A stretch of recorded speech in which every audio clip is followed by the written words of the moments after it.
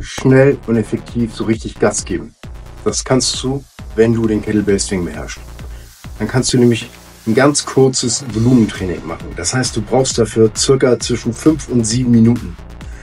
Und zwar ist dein Versuch, 100 Swings zu machen und du addierst das Gewicht jedes Swings.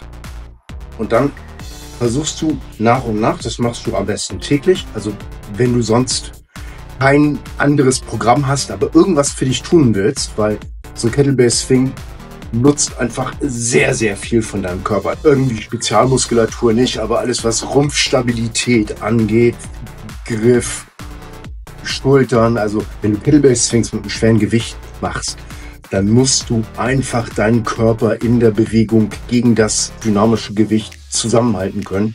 Und daher ist es eine wahnsinnig gute Übung, die sehr viel Übertrag hat zum normalen Leben. Also, einfaches Volumentraining. Du machst so viele schwere Swings, wie du kannst, machst dann eine kleine Pause, machst dann wieder was. Dann addierst du das Gewicht von jedem einzelnen Swing. Zum Beispiel, du startest mit einer 32er Kugel, machst damit, sag ich mal, 10 mal 50 Swings. Danach merkst du, ah, der Saft geht mir aus. Ich schaffe das jetzt nicht mehr innerhalb der sieben Minuten ungefähr. Ich nehme mir jetzt eine leichtere und dann ballerst du eben halt die restlichen 50 mit einer 24er durch dann addierst du das ganze Gewicht zusammen und dann siehst du eben halt, okay, ich habe jetzt dieses Gewicht insgesamt bewegt, also als Tonnage. Und dann versuchst du einfach über einen längeren Zeitraum diese Tonnage Schritt für Schritt zu erhöhen. Also das war jetzt hier bei mir. Ich habe jetzt mit der 48er wieder losgelegt, immer ein Zehner, damit ich nicht zu sehr kaputt gehe. 50 Stück davon gemacht. Da habe ich festgestellt, verdammt, ich laufe hier mit der Zeit raus.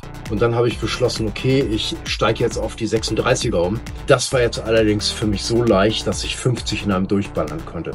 Wenn man das Ganze eben halt miteinander addiert, dann habe ich jetzt irgendwie 4,2 Tonnen bewegt. Also ja, ganz okay für einen Seniorensport, denke ich. Wenn du jetzt keine weiteren Kettlebells mehr hast, wo du sagst, ah, ich kann jetzt nicht höher gehen, dann könntest du gegebenenfalls dann auf 110 oder auf 120 gehen. Aber natürlich ist es feiner, als du genügend schwere Kettlebells am Lager hast oder in deinem Gym. Bin da hier ein bisschen verwöhnt, aber ansonsten wird das bestimmt für dich klappen. Und wenn du mit irgendwas ein Problem hast, schreib mich an und ich finde eine Lösung für dich. Bye bye.